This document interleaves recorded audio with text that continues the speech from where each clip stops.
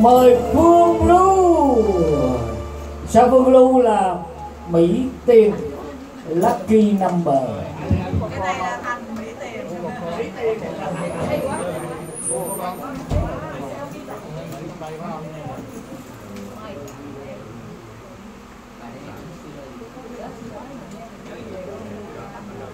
Kính thưa quý vị, sau đây là nhạc phẩm